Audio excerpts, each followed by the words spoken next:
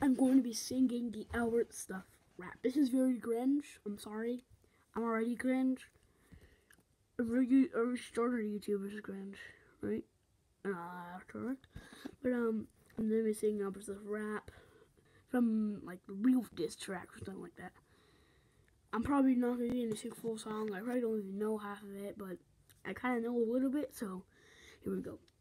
Got a new Roblox logo, but it looks like a cheese. It kids cursing out of live streams, but you didn't see it. Now it got banned talking words. I'm a penis. I'm a beast, but I'm cute. I'm built like Venus. Julius Cool writing off that he couldn't read it. Finding your teddy there, then you broke your camera.